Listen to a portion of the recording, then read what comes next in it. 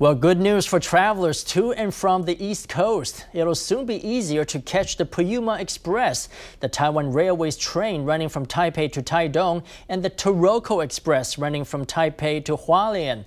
As tickets have been in constant high demand for both railway services, the Ministry of Transportation announced that the trains will have an open seating section starting next year during the Lunar New Year holiday season.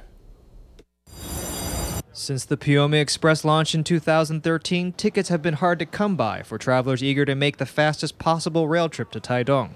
To address the problem, the Taiwan Railways Administration is creating an open seating and standing section on the train. The TRA also plans to have open seating in the first two cars of the Taroko Express, which runs from Taipei to Hualien.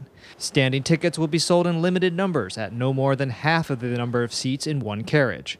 Open seating tickets will be first come, first served and sold at a cheaper price than reserved tickets.